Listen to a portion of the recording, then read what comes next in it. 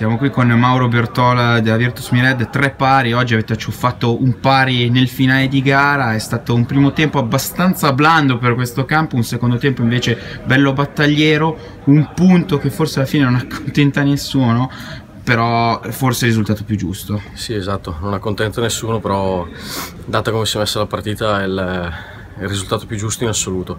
Loro sono una grande squadra, fanno fatica su campi piccoli perché sono tecnicissimi e atletici, da loro è più difficile giocarla. Qui abbiamo messo in campo tutte le nostre forze del saper giocare su misure più strette. È un campionato la classifica è molto compatta anche per quanto riguarda le squadre che sono alle vostre spalle. Obiettivo salvezza immagino da raggiungere il prima possibile. Esatto, sì, salvezza in, in assoluto e, guarda, lo dicevo proprio all'andata dopo la, la loro partita, eh, il campionato più, più, difficile di Open A che, che, che, si sia mai giocato, non credo ci siano altre realtà, due davanti che, che corrono come lepri e un marasma in 6-7 punti come questo.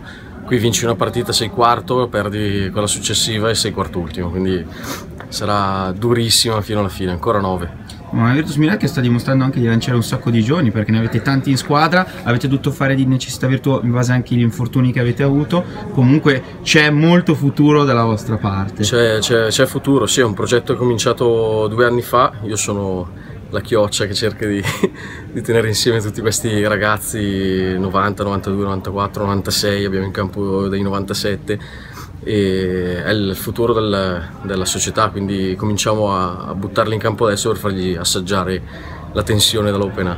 Perfetto, grazie mille Mauro e buon proseguimento. Grazie, ciao.